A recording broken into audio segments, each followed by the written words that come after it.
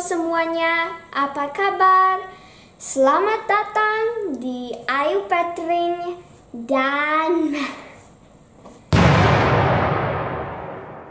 Sudah lama Matt nggak kelihatan. Sebenarnya sekarang sudah mulai memasuki liburan musim panas. Kalau liburan musim panas di sini tuh lama banget ya Matt ya, sampai sekitar Agustus minggu terakhir Agustus begitu. Ini berisik banget. yeah, exactly. That's why I paused during the intro.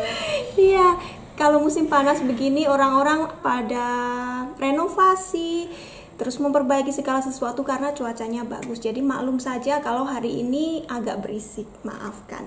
Oke, sudah lama Matt nggak ikut di video kita. Sekarang hari ini dia ada waktu lagi nggak main sama teman-temannya. Sudah setahun ini Matt masuk SMP. Kalau SMP di sekolah Matt middle school starts in which grade? It starts when you're in sixth grade and it ends when you finish eighth grade. Hmm, jadi agak beda dengan di Indonesia dan juga agak beda dengan sistem public school di Hungaria. Kalau di Hungaria umur segini masih SD, mereka nggak ada SMP tapi langsung ke SMA, jadi beda lagi.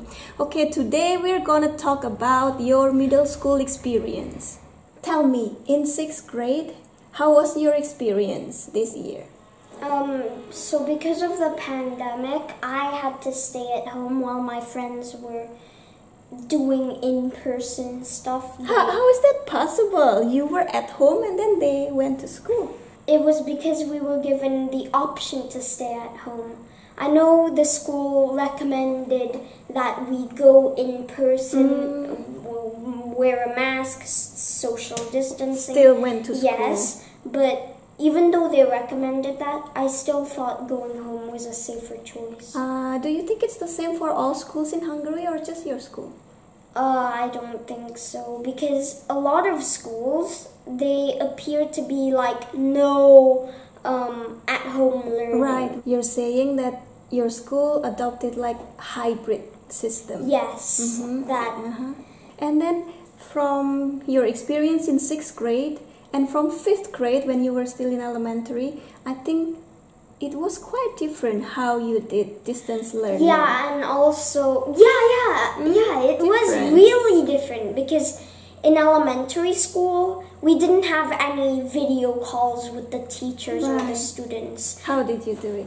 Um, there was a web page, and that website would be updated every day with new videos that had instructions from mm-hmm. the teachers that you had to follow. So most of the time you didn't even have to have video call or yep. Zoom meeting. That's called asynchronous distance learning because it was um. very self-paced. Mm-hmm. So in the morning you were given this much task mm-hmm. and it's up to you whether you finished it at 2 p.m. or at 10 a.m. or at 4 mm-hmm. p.m. Oh, well, the maximum was 3.30 you had to get it finished by uh-huh. 3.30 p.m yeah. Well now in middle school in sixth grade zoom meetings all my life basically. You had zoom meeting all the time. How yes. that possible? From morning when did you start school? I usually started at 8.30 8.30 sharp you would stay yes. in front of computer. 8.30 sharp. You had the camera on mm-hmm. with microphone. Yes. Everybody did the same. Um, for the most part yes. until hybrid learning. Yes until 3.30 p.m yes. So actually basically it's the same like in-person learning. It's just that in front of camera. Mm-hmm. yeah. And then about the subjects. I think your subjects in sixth grade are quite different from fifth grade. Can, yeah. can you tell us in fifth grade, there were a lot more subjects yeah. to do. There, every day there were eight classes a day mm-hmm. because there were lots of subjects. So we'd have stuff like math, writing, or writer's workshop, mm-hmm. as we called it, PE, art, um, uh, a lot. Yeah, mm-hmm. basically. And now? In sixth grade, however, they appear to have um, shrunken down the subject. So, like mm-hmm. previously, there was the super specific subjects. No, there was a difference between social studies mm-hmm. and unit of study. which was basically when we would study specific topics. In sixth grade, however, um, social studies and grammar are combined into one class called humanities. So humanities is like huge subject and then it has it covers small subjects in Yup. literature, Mhm. linguistic, right? Mhm. They taught us about sentence types at one Uh-huh. point in the year, like compound sentences, simple sentences, and then there were complex sentences. hmm And then how about social studies? It's also humanities. Yes. There are also exploratory classes. What's that? Um, they're also known as arts classes by me. Um, By you. yeah, there are five types of exploratory classes, and you choose four of them to take during the year. And during each quarter in the year, you would like alternate through the classes you chose. Um, there's there's 3D modeling, which is very self-explanatory. You make 3D models model. with a computer. Yes. Um, there's also um, drama where you like perform based on a story that the teacher provides. mm-hmm. Um, there's music Yes. where you learn how to compose your own songs. You know like the basics of using music notation software, and then there's art where you paint, you sculpt, and yes. And there's band where you join the school band. There's like a school band. It's very different from music, but you can only choose specific instruments. So it's not like like band in you know like the Beatles, no, BTS, not like the no. band. It's it's not very electronic. Uh-huh. Um, it's actually very acoustic. There's like saxophones, flutes, and drums, and maybe timpanis involved. It's like marching band. Yes. It's just not marching. marching band, uh, static band. Static band. Plus, my school also focuses a lot on emotional mm, situations. yes. Um, because back in elementary, mm-hmm. the counselor would visit us every week, and they would like walk us through how to like deal with a specific mm-hmm. social problem and all that stuff. Now we have that every day, but with a teacher uh-huh. that isn't a school counselor. Oh, is that a subject? Yep. Advisory, Yes, advisory. which is probably like homeroom in elementary. Uh, a bit. It's like homeroom, but you don't visit it very much during the week.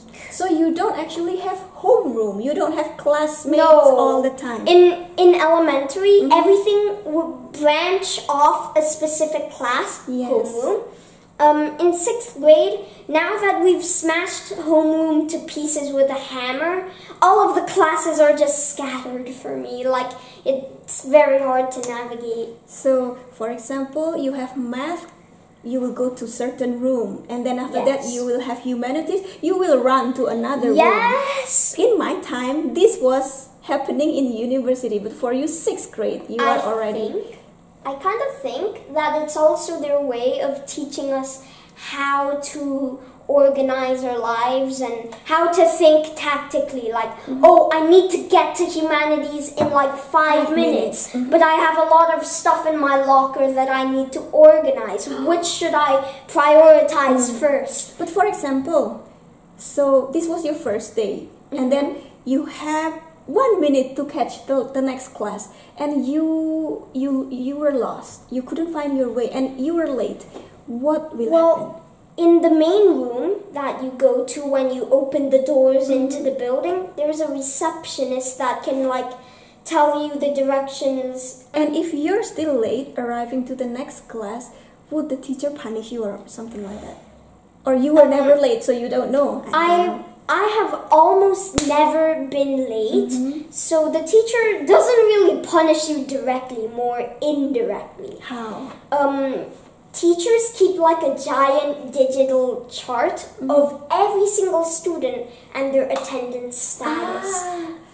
So they take attendance Yep. for every single class. So if you arrived early or at the right time, mm-hmm. then they would mark you as present. Mm-hmm. If you were absent without a reason written from a parent, mm-hmm. then it would be absent unexcused. Likewise, if the parent told the teacher in advance, then the student would be absent excused. Ah, I mm. see. The same thing goes for when you're late, except that rather than absent, it's tardy.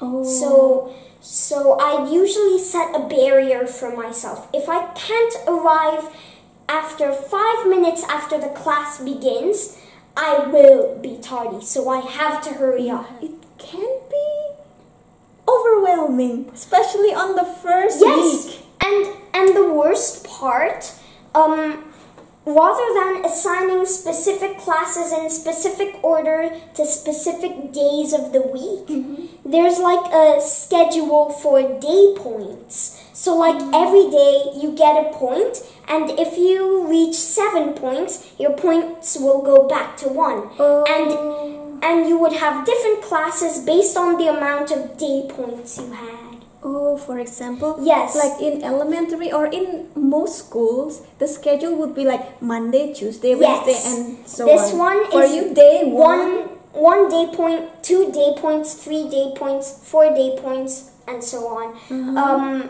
so, for example, your first Monday, is day one. yup, one day point, and the next week it would be a day six. Because so in six a day week there are seven days. Mm. The first Monday and the second Monday will have different schedule. Mm-hmm. So you have to check. I don't know what do you check. Um, schedule. Online schedule. Yeah, there's have it- also an online schedule that adapts based on which day it is. and you have to have your laptop all the time. Yeah. Not only do lots of classes rely on it for like research, 3D mm-hmm. modeling, and all that yada mm-hmm. yada waffle waffle, mm-hmm. but you also need it if you want to accurately check which day it is. Right. But then, so every student in middle school they have to carry a laptop. Yeah. What if you forgot? I can't imagine what happened because, oh wait, I did forget it at one point. For Um, you, I think you didn't forget, but your laptop hadn't didn't arrived. arrive. Yeah. Yeah. So if your laptop didn't arrive yet or you didn't have it on you, Mm-hmm. you could go to the school office. Um, not to visit the principal, but rather to visit the loaner. The loaner would give you a school laptop with a few programs Oh. from the school. So they have extra. Mhm. And then at the end of the day, you had to go back to the school office, return the laptop in case anyone else wanted to use it, and then run along back home. So far, what did your teacher say about you? Were you a good student? According to the report cards, um, yes, report cards, I did pretty well. You did pretty well, although you spend most of the time at home. Yeah, So, like, were you one of the smartest? I'd, I, I wouldn't really say I'm one of the smartest. I'm more one of the people who are smarter than average, But slightly. they don't actually say who's the smartest No, of they they don't really rank the students. They rather rank the students on attendance, but that's unrelated. yeah, so I guess this kid is smart, this kid is smart, this kid is smart, like that. Everybody's smart. oh, this kid isn't as smart. Hmm, could we do additional learning? Oh, yeah. yeah. It's- do they get- Yeah, yeah, yeah. Oh. There's learning support in my school as well. It's Is it done after school or during the school hours? during the school day. For example, in math class, um, during lunch, if you felt that you had difficulties with, mm-hmm. say, ratios and part to whole and part to part ratios, you could visit the teacher and she would help you with the grasping the concept. Oh, really? So she would yeah. give extra lessons. Mhm. So that you would be at the same level as the other Mm. students. Do you have any favorite teacher? Yeah, actually, Yeah. my math and science teachers. What do they do? Are they cool? Or? They're they're very cool How? because during math we do these digital lessons that are made and programmed by the teacher. So it was like an interactive slideshow. In at one point in one of the slides, the teacher gave two links to videos about statistics. If you click to the bottom link, at first you would see a static image that said breaking news, but nothing would happen. After 10 seconds, you'd get Rickroll. it's basically it's basically where where Rick Astley's Never Gonna Give You Up plays unexpectedly. That's called a Rick roll and it definitely came unexpected for the Ah. class. And you wouldn't Mm-hmm. think that a teacher would know Mm. memes, right? And and at that point, all the students were just freaking out. Like, how could the teacher know our Rick rolls? Can we show a little bit of your reports without showing the teachers' faces and such Mm. thing? Is it okay? I guess so. So at first, you would expect my report to have um, standard grades written on them, like A, B, C, D, and F. However,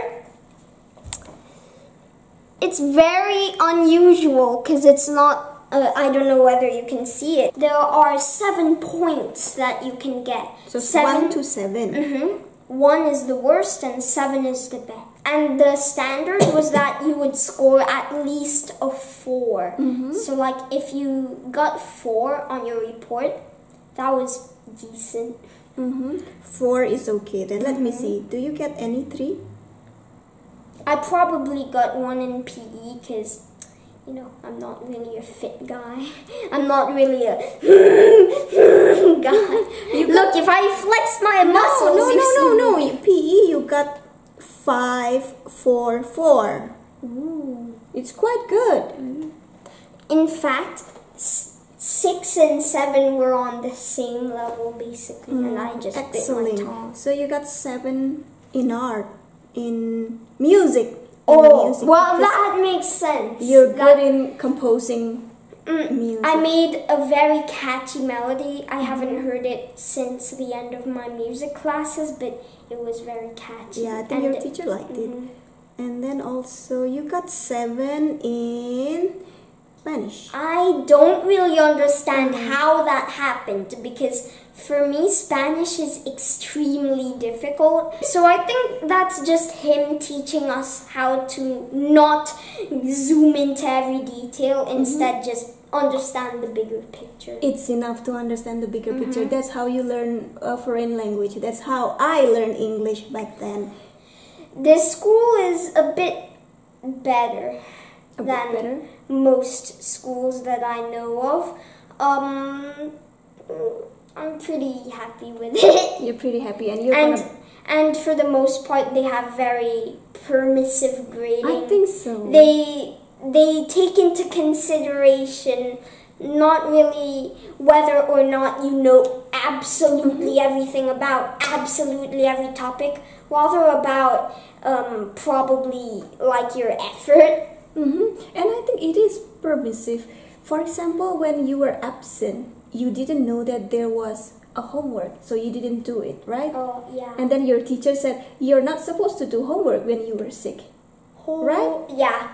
It wouldn't happen in my school. I don't know if it was the teacher or the rule was like that. I was still in first grade, I remember. I was absent for a few days, so I didn't know that there were homeworks while I was away. So I went back to school when I was okay, and then it turned out there were homeworks for some subjects, and I didn't do it. And my homeroom teacher taught everything. So from math, science, everything she did it. And then she asked, "How come you didn't do your homework?" Well, I was sick. Even if you were sick, it's your responsibility to know. So ah. in this situation, your school is really, really permissive. You should be grateful about it.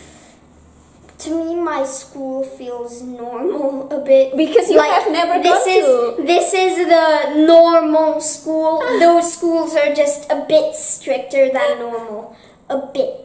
So, anyways, thank you guys for watching this video. If this was a very eye-opening video, then maybe our other videos maybe as well. Uh, did I have to say B so many times?